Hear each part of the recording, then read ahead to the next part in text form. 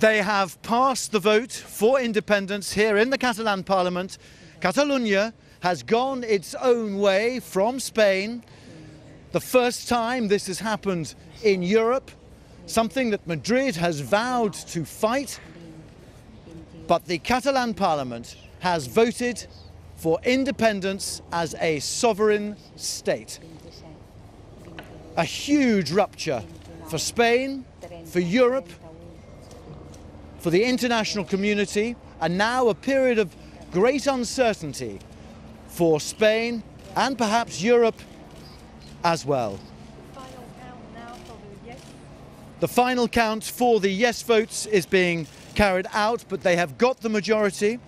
They have got more than 68 votes here in the teeth of opposition from Madrid and the unity parties here in the Catalan parliament.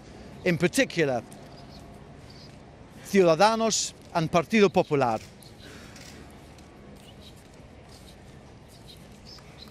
Outside, the crowds are cheering, fireworks have been let off.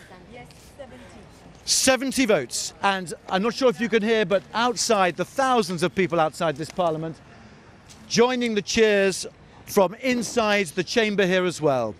La resolució de la declaració dels i les representants del Parlament queda aprovada per 70 vots a favor, 10 en contra i 2 vots en blanc.